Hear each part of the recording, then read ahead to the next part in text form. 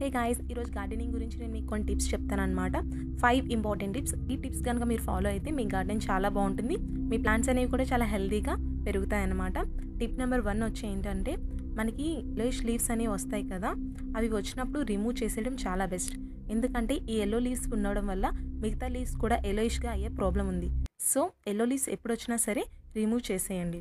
Next వచ్చేసరికి next మనకి ఈ సాయిల్లో మనకి ఉన్న ప్లాంట్స్లోని కలుపు మొక్కలు అంటారు కదా అదే ఎక్స్ట్రా ప్లాంట్స్ వస్తాయి కదా అవి రిమూవ్ చేసేయాలి. ఎందుకంటే మనకుండే మెయిన్ ప్లాంట్ కంటే ఈ ఎక్స్ట్రా ప్లాంట్స్ అనేవి వాటర్ చాలా ఎక్కువగా అబ్జర్వ్ చేసుకుంటాయి.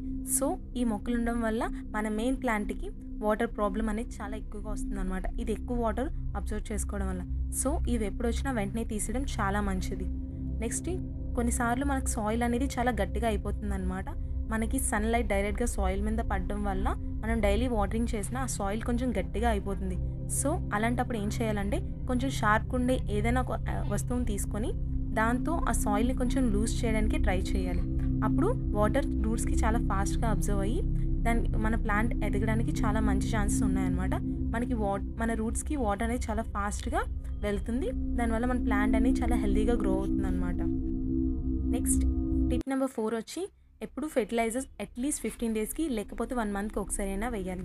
న్యాచురల్ ఫెర్టిలైజర్ అయినా పర్లేదు మనకి నర్సరీస్లో వాటిలో దొరికే ఫెర్టిలైజర్ అయినా నో ప్రాబ్లం అది కూడా కాదు అనుకునే వాళ్ళు ఆ రెండు దొరకలేని వాళ్ళు ఓవర్ నైట్ ఏం చేయాలంటే ఒక- బాటిల్లో వాటర్ తీసుకొని దాన్ని ఫుల్గా బనానా పీల్స్ వేసి ఓవర్ నైట్ ఉంచి మార్నింగ్ ఆ వాటర్ని కనుక ప్లాంట్స్ వేస్తే అది మంచి ఫెర్టిలైజర్ కింద ప్లాంట్కి యూజ్ అవుతుంది అనమాట దానివల్ల ఎలాంటి మొక్కలకైనా సరే ఫ్లవర్స్ అనేవి చాలా అందంగా వస్తాయండి.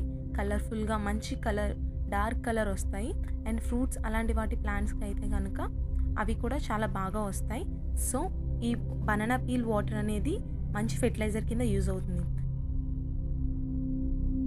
నెక్స్ట్ టిప్ నెంబర్ ఫైవ్ వచ్చి ఏంటంటే మనం వాటర్ ఎప్పుడూ కూడా ఎర్లీ మార్నింగ్ కానీ లేకపోతే ఈవినింగ్ కానీ వేయాలన్నమాట. మంచి ఎండగా ఉన్నప్పుడు మాత్రం ఎప్పుడు వాటర్ చేయ వాటరింగ్ చేయకండి. దానివల్ల ప్లాంట్ అనేది వీక్ అయ్యే ప్రాబ్లం ఉంది. సో ఈ టిప్స్ మీకు యూజ్ అయ్యా అనుకుంటున్నాను. గాయస్ నేను చెప్పిన ఇన్ఫర్మేషన్ మీకు కనుక యూజ్ అయ్యి ఉంటే ప్లీజ్ ఈ వీడియోని లైక్ షేర్ అండ్ సబ్స్క్రైబ్ చేయండి. Thanks for watching